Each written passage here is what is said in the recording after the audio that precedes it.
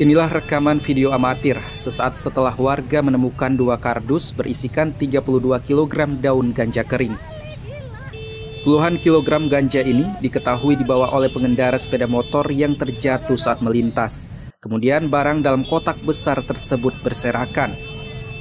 Awalnya warga yang melihat kejadian ini berupaya menolong pengendara motor tersebut. Namun belakangan pengendara motor tersebut justru kabur saat melihat warga berdatangan hendak menolongnya.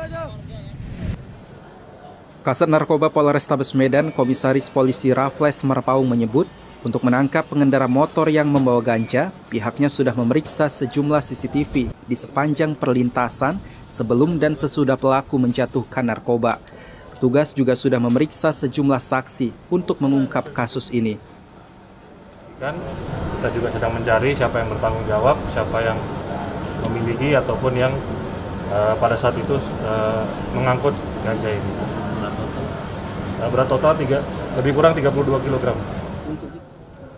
Kini seluruh barang bukti masih ditempatkan di Sat Narkoba Polrestabes Medan dan akan dimusnahkan. Ferry Rawan, Kompas TV, Medan, Sumatera Utara.